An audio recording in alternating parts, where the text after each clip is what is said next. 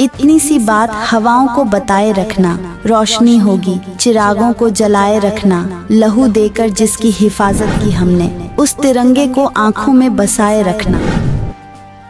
शशांक कुमार, शाखा प्रबंधक, भारतीय स्टेट बैंक, शाखा बडीहा मजियाव की ओर से पचहत्तरवा गणतंत्र दिवस के शुभ अवसर पर सभी देशवासियों को हार्दिक शुभकामनाएँ एवं बधाई।